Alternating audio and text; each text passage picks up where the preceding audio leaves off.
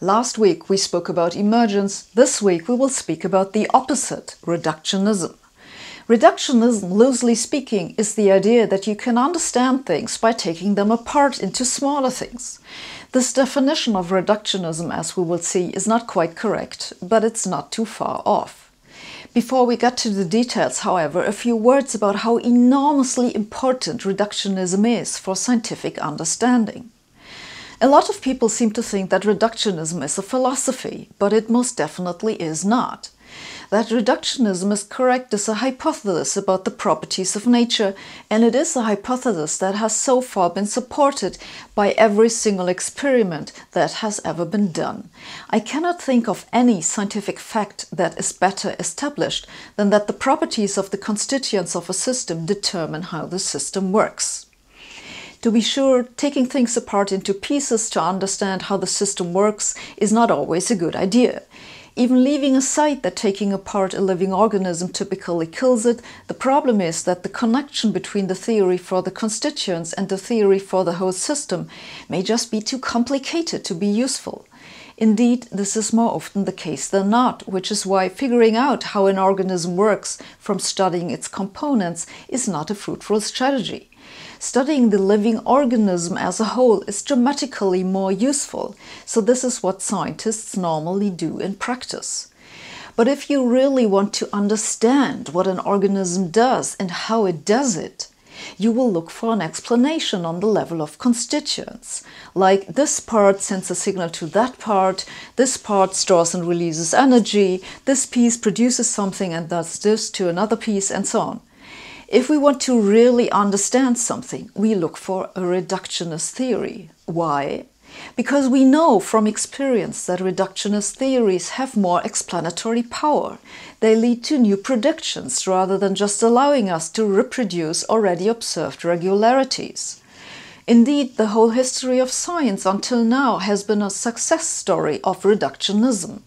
Biology can be reduced to chemistry, chemistry can be reduced to atomic physics, and atoms are made of elementary particles. This is why we have computers today.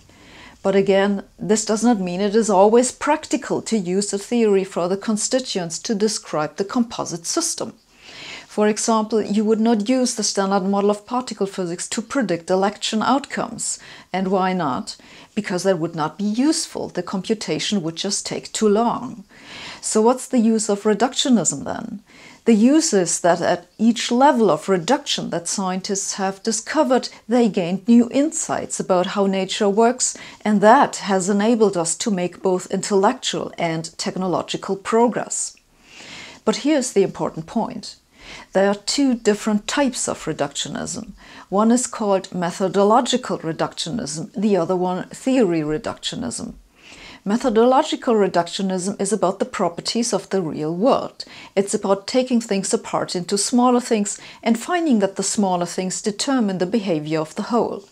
Theory reductionism, on the other hand, means that you have levels of theories where the higher, the emergent levels, can be derived from the lower, more fundamental levels.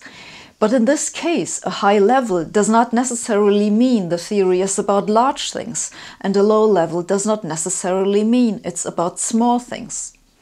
So, what type of reductionism is it that has been so successful in the history of science? The funny thing is that it's a combination of both. Methodological reductionism has so far gone hand in hand with theory reductionism. As we have looked at smaller things, we have found more fundamental theories. But this does not necessarily have to remain this way. There is no reason to think that the next better theory of nature will be found by studying shorter distances. Just because the two types of reductionism have been tied together for a while does not mean it will remain this way. Indeed, some of the biggest currently open problems in physics manifest themselves on large scales, not on small scales. Besides dark energy and dark matter, there's also the measurement problem in quantum mechanics. I've told you about those problems in some earlier videos. They are not, in any obvious way, short distance phenomena. So the next time a particle physicist tries to tell you that we need higher energies to probe shorter distances because that's where progress will come from, remind them that methodological reductionism is not the same as theory reductionism. Thanks for watching. See you next week.